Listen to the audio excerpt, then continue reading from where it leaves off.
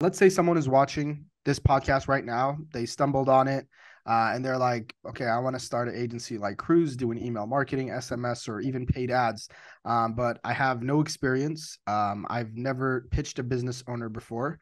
Um, I don't know how to send an email or do paid ads, but this is something that I want to get into for all the reasons that you just listed. What would be your advice for them to go ahead and get into social media marketing? So first thing that I would like if I had to like start over all over again, the first thing that I feel like would be most important is get get a skill, develop a skill, become good at it. That way you can actually offer this to a business owner. Hmm. It's it can be a competitive market, but if you stand out in this competitive market, it won't be. So first thing I would do is if someone wanted to get into email marketing or SMS or paid ads, is understand the service that you're providing because a lot of people are not doing that mm-hmm. and they mm-hmm. feel like they're just kind of like they just kind of have to go out and be like, hey, we offer this uh, you know, this service at this price. And like people get pitched at a lot. So if you understand your service and you're actually really good at your service, that's a really good way to stand out from everyone that you know is pitching to these business owners. Um, but more specifically for email marketing if anyone wants to start an email marketing is get good at emails. Like i said sign up to create a capture email. So create a like spam email. Mm-hmm. sign up to a bunch of newsletters a bunch of companies that you like and then recreate them on your own. That way mm. you get good and get an eye for email marketing and then, you know, create some designs for some companies and offer them like, hey, look, this is, I seen that you can improve your email marketing. Here's what I can do for you. I made this for you. Um, you can take it if you want. And a lot of the times companies really appreciate that. Um, but I think like the biggest thing is just take action a lot of people feel very uncomfortable to do anything. A lot of people feel very uncomfortable to get put into the position of speaking with business owners.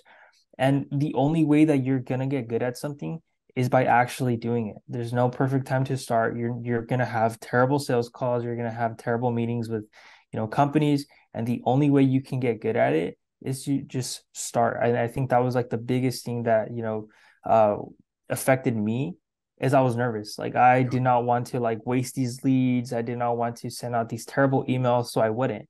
And oftentimes, like that's it's it's not gonna get you anywhere. You know, you miss every shot you don't take. Like yep. you, you just kind of have to like do it, man. Like fifty percent of the battle. I, I have heard Grant Cardone said this. I don't know if this is his call, but fifty percent of the battle is just showing up, bro.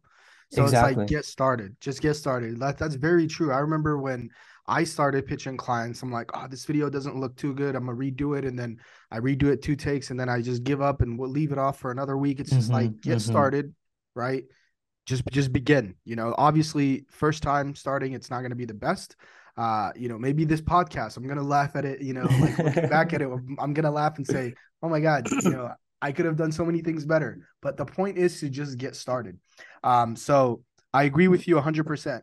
Uh, let me ask you this. Let's go a step further. Like, what resources? So, okay, uh, someone is looking to get into email marketing. They're going to go ahead and get started. They're, you know, sign up to some uh, newsletters. Uh, they'll, you know, pitch a few clients and show them, hey, you're not doing email marketing. Here's what we can do for you.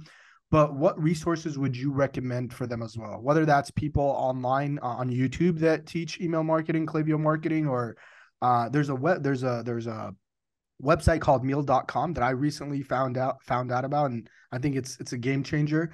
Uh, but is there any other resources that you could uh, provide uh, people listening that would uh, help them, Cruz? So the funny enough, like most of my learning came off of Twitter. Like I learned, wow. yeah. So I learned email marketing solely off Twitter. Like I I started with Chase Dimond on Twitter, yes, uh, or Dimon or something like that. Yeah. Um, and I just like read through a bunch of his like pinned tweets, a bunch of his threads and stuff like that, and really just surrounded myself with all this information. And then I followed a bunch of email marketing guys on Twitter. And I just started implementing that like right away. Like I started implementing it. And the moment I did, like I said, so before I took email marketing seriously, I was already doing email for one particular client, but it wasn't like nothing major. Like I was just like, okay, send out this email here and there, but I never took it seriously. So I never seen the potential. And then once I got onto Twitter and I started actually implementing this and and doing all the things that they they spoke about in there, like the service just like got so much more better. And I was like, holy shit! Like I can wow. make like this really improve my service. Uh, it's easy. It's not easy, but it's like it, it's it's less stressful than Facebook for us. And like I can redo this for a bunch of other people.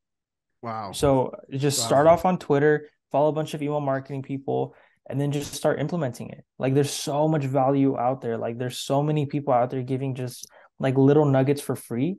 Get started on there and like it's it's just it, it's it's insane how much value I've gotten from it.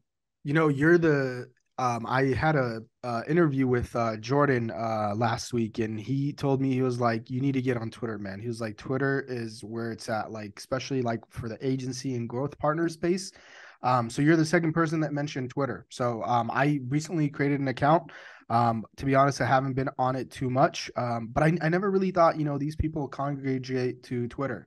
Like I know Chase, you know, and he's a you know one of the best email marketers out there. But apparently, mm-hmm. even people in the social media marketing space, they're on there providing value.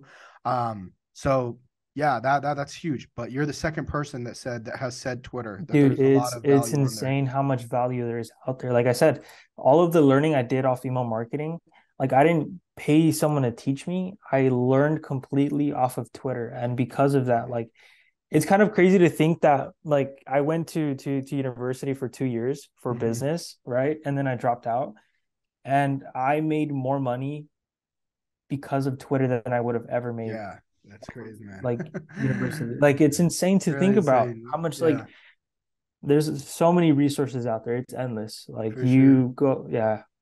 For sure. You need so, to get on Twitter, man. so Twitter, yeah. So by the way, we're gonna have our both of our Twitter handles here. So if anyone's uh, listening to this, definitely give me and Cruz a follow on Twitter.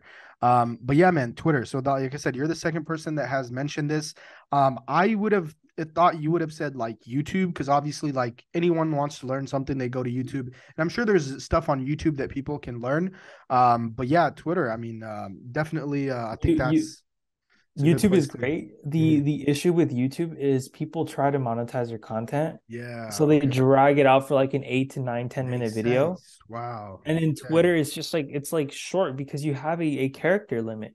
Yeah. So it's, just like red. what you so what you would learn in 10 minutes, you read from one minute reading like wow. their Twitter handle. And then you have like already information that like it's written down in paper instead of like not in paper but like it's written down for you so you can bookmark it you can screenshot it. Nice, uh so you don't need to like mm. transfer that content off of youtube onto like a pen and paper because it's already out there for you. So every everyone wow. on twitter has done the hard work for you. You just simply like you know take that information in and save it and it's it's so much more efficient than youtube. Youtube is great but twitter is much more efficient that makes sense, man. YouTube, like you said, people are gonna try to create a 10 minute video, monetize, you know, uh, monetize it, make it as long as possible, and uh, drag out the information. But with Twitter, it's like it's essentially like a summary of a book. Mm-hmm. You know, exactly. exactly.